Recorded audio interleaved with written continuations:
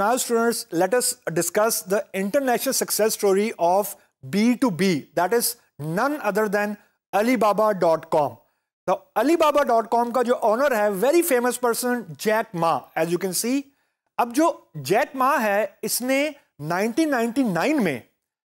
Alibaba dot com की बुनियाद रखी लेकिन द इंटरेस्टिंग फैक्ट इज़ के जो इनिशियल इन्वेस्टर्स थे that was not Jack Ma यानी वो सतारह और लोग थे यानी सतारह लोगों ने मिल के अली बाबा डॉट कॉम के अंदर इन्वेस्टमेंट की थी because the guys were very sceptical कि ये जो ये जो बी टू बी का कॉन्सेप्ट है, ये पता नहीं चलता है या नहीं चलता। ऑब्वियसली जब भी कोई नया बिज़नेस स्टार्ट होता है तो स्केप्टिसिज्म इज़ देयर लोग ऑब्वियसली शक करते हैं कि पता नहीं ये चलेगा भी कि नहीं चलेगा। एनी हाउ जो अली बाबा है it is not B to C ये बिज़नेस टू कंज्यूमर नहीं है। ये आजकल सबसे बड़ा B to B online market place है, यानी बिज़नेस टू बिज़नेस ये डील करता है। यानी एक बिज़नेस ने दूसरे बिज़नेस से जब बात करनी है फॉर एग्ज़ाम्पल स्मॉलर बिजनेसेस हैं, उनके लिए ये आजकल दुनिया का सबसे बड़ा पोर्टल है। तो इनका जो मेन इंटेंट कह लें, या जो मेन फोकस है I am talking about Alibaba dot com इनकी एक और सब्सिडरी भी है अली एक्सप्रेस डॉट कॉम वो अब फोकस होना शुरू हुई है बी टू सी पे लेकिन Alibaba dot com is joint there still main focus is B to B तो ये ज़्यादातर स्मॉल बिजनेसेस जो होलसेल डीलर होते हैं या uh, जो होलसेल और रिटेल आई मीन जो कंपनीज़ होती हैं उनके दरमियान जो इंटरेक्शन होता है उसको ये बेसिकली फैसिलिटेट करता है। उसके बाद एक पोर्टल है उसके अंदर जो बिज़नेस है यानी जिसने चीज़ प्रोवाइड करनी है वो भी वेंडर है। और जिसने चीज़ खरीदनी है या जिसने ऑर्डर फुलफिल करना है, वो भी एक वेंडर है। अब ये बड़ा इंटरेस्टिंग सा कॉम्बिनेशन है कि खरीदने वाला भी वेंडर है, बेचने वाला भी वेंडर है। तो इसका बिल्कुल वही मॉडल है जो बी टू बी का हमने पहले डिस्कस किया है कि एंड कंज्यूमर को हमने for the time being Alibaba dot com की कॉन्टेक्स्ट में निकाल दिया। नाउ एज वी स्पीक अभी तक अली बाबा डॉट कॉम के अंदर के ऊपर इस वक्त अराउंड 500 मिलियन प्लस शॉप्स मौजूद हैं जो अली बाबा के थ्रू ट्रांजेक्शन्स करती हैं। इनके जो मंथली एक्टिव यूज़र्स हैं, again, I am talking about shop users, यानी होल सेल रिटेलर, या wholesale to wholesale retail to retail, वो around five eighty million plus हैं। और जो अली बाबा डॉट कॉम की वर्थ है, नेट वर्थ है which you can go and and verify over the internet that is 470 billion USD that's the giant number that's a huge number अब let us see के Alibaba dot com है it went IPO in 2014 यानी ये जो company थी the company go public IPO हो गया इसका। uh, 2014 में अगर आप ये ग्राफ देखें आज तक की तारीख का यूएस की तारीख का ये सबसे बड़ा आईपीओ है। That was 21.8 billion USD just see the chart it crosses Facebook even 2012 में फेसबुक का आईपीओ हुआ था दैट वाज 16 बिलियन एंड 2008 में वीज़ा का आईपीओ हुआ था दैट वाज 17 बिलियन लेकिन अभी तक जो अलीबाबा डॉट कॉम है, इसका जो आईपीओ है that is the most valuable IPO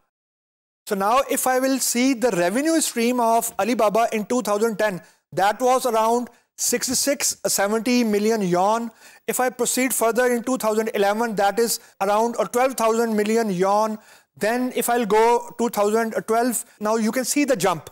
2011 में अराउंड 12000 था 2012 में 20000 हो गया 2013 में it was around 34,517 million yuan there a jump तकरीबन डबल हो रहा है मूविंग फॉरवर्ड 52,504 मिलियन यॉन उसके बाद the next year it is around 76,204 billion and then it was around एक लाख एक हजार एक सौ तिरतालीस million yuan and then just look at the last year 2017 this is around 158 273 million yuan अगर मैं सबसे पहले इसको यूएस डॉलर में कन्वर्ट करूँ तो this is around 26 billion dollars